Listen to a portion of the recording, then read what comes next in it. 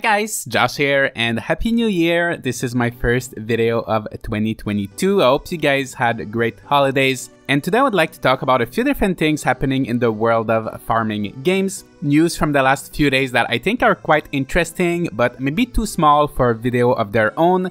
So I'm gonna be combining everything in this video. There are timestamps, so feel free to jump to the game or news you're interested in and let's get started. First, we got some pretty exciting news about Roots of Pacha, the Stone Age farming sim that's been in alpha since April 8, 2021. Exactly one year later, on April 8, 2022, the game will go out of alpha and go into beta.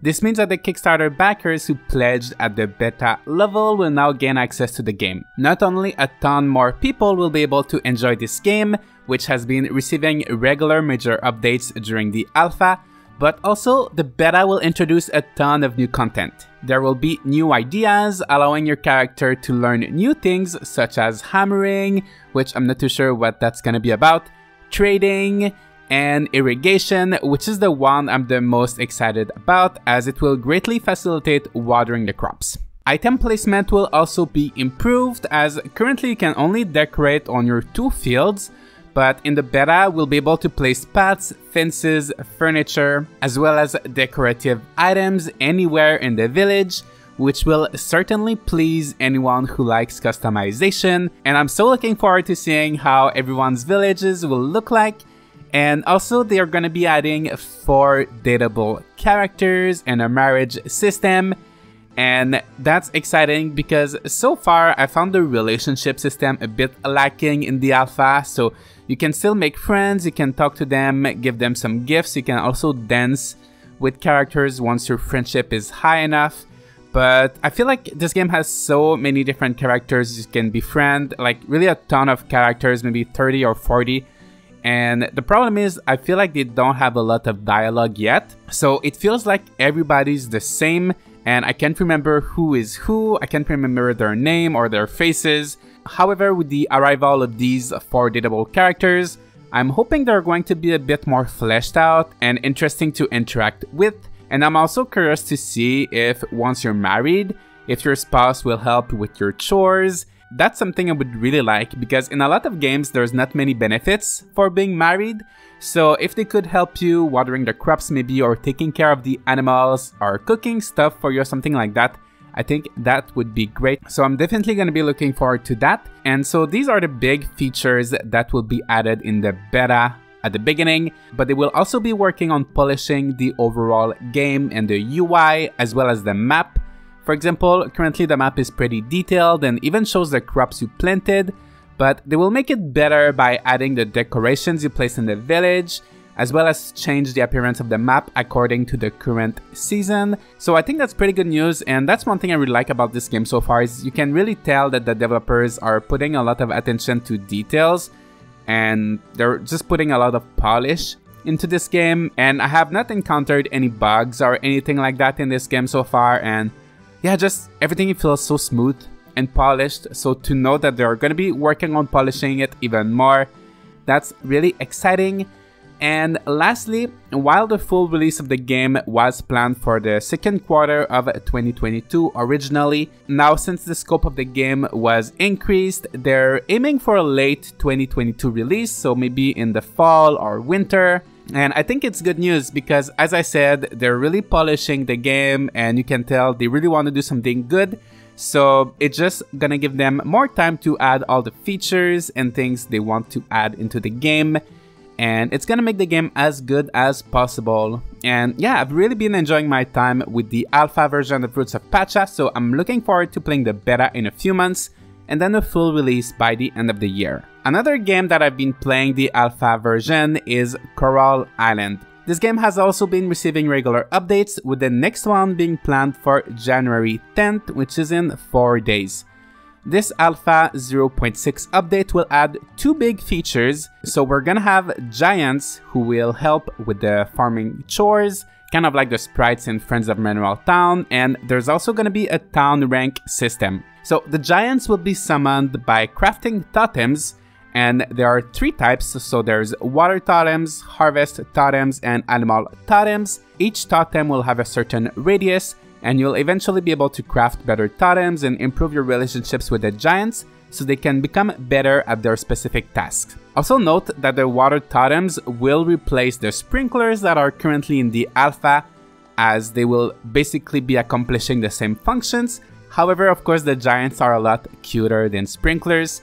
And I think these giants are a really interesting addition to the game and I can't wait to invite them on my farm. Next, they will also add a town rank system. It will be divided into four components. There's heritage, fame, museum, and ocean. And certain tasks will of course improve the corresponding component. Leveling up your town will allow merchants to sell new products in their shops and maybe even new shops will also open when your rank gets high enough. I think that's a very interesting system and the fact that the rank is divided into four components will hopefully encourage players to experience all different parts of the game. So like working on your museum and then diving into the ocean to clean up the ocean and save the coral and maybe working on your farm or increasing your relationships. So if you want to level up all the four components, you're gonna have to do tons of different things. So I think that's a pretty good mechanic. And yeah, I'm just so excited for this game. There's still a non-disclosure agreement for the players of the alpha, so unfortunately I can't show any footage of my gameplay or talk about how the game is so far, but I can't wait until the day I can stream this game and talk about it with everybody because I'm sure it's gonna be an amazing game once we get the full version. And also, the developers are posting dev blogs on their Kickstarter page every month, and they're currently planning an alpha update every two months. So if you want to stay up to date, I'm gonna be putting a link to their Kickstarter page in the description. And you can also read a lot more about the town rank system and the giants. Everything is there, so please feel free to check it out. Next, we need to talk a bit about Kokopa's Atlas.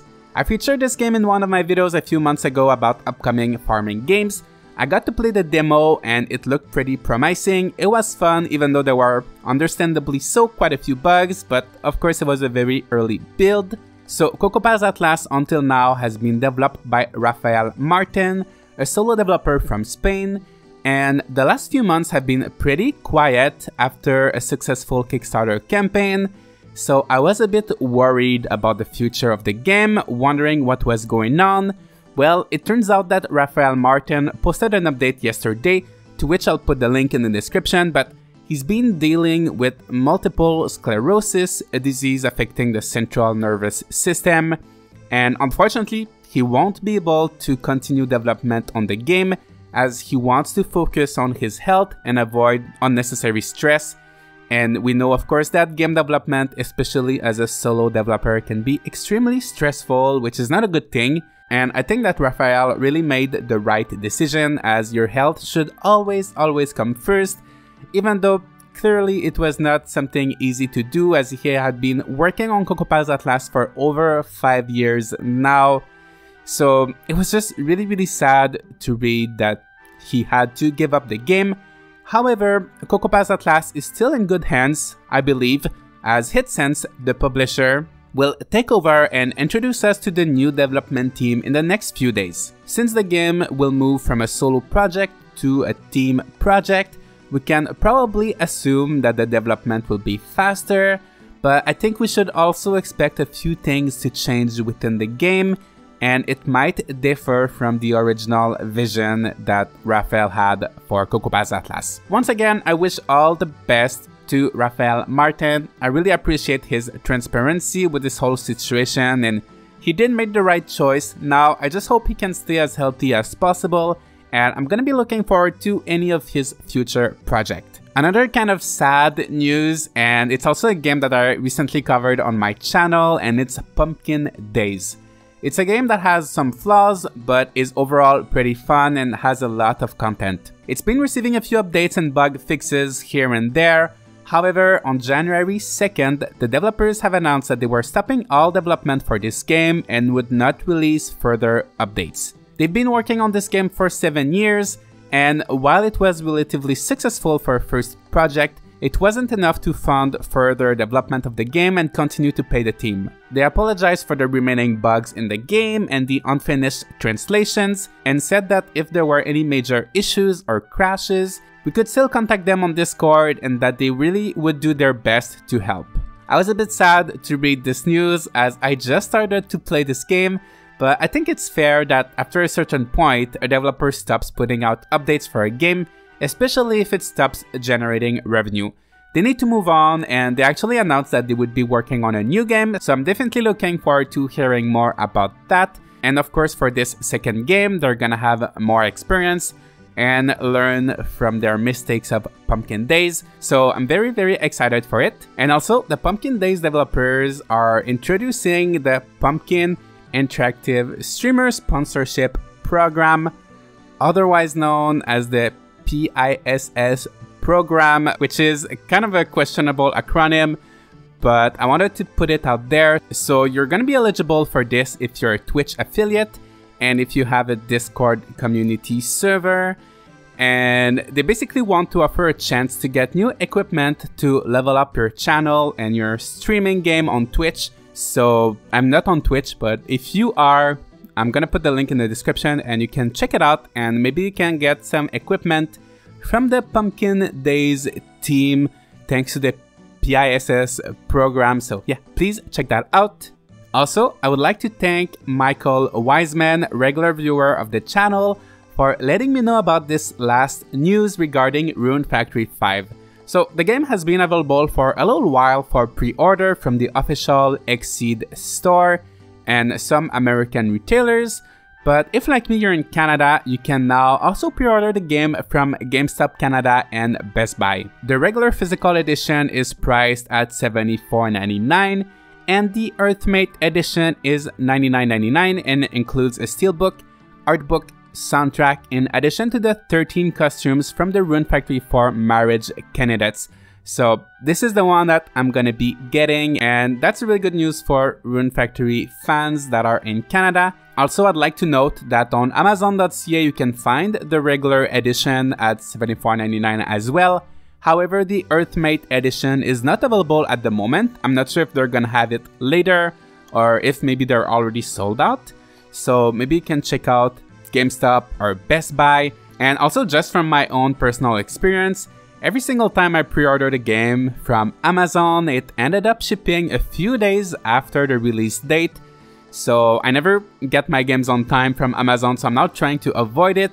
But I'm curious to know where's your favorite place to pre-order games. If you're in Canada or maybe if you're in other countries, do you go to the store or do you order it online? What's your favorite website? What do you recommend? Please let me know. And yeah, that's gonna be pretty much it for this video. It was kind of all over the place. Please let me know if you like this kind of format. Maybe I could do this once a week or every two weeks. Or would you have preferred maybe short 1 to 3 minutes video to cover these news individually instead? Please let me know your thoughts, leave a like and subscribe if you don't want to miss out on more content like this and I'll see you all in the next video.